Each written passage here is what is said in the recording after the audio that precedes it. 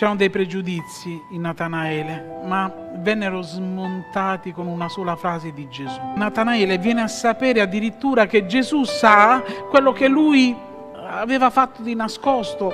Quindi questo gli dà la convinzione che colui che gli sta parlando è sicuramente una persona straordinaria.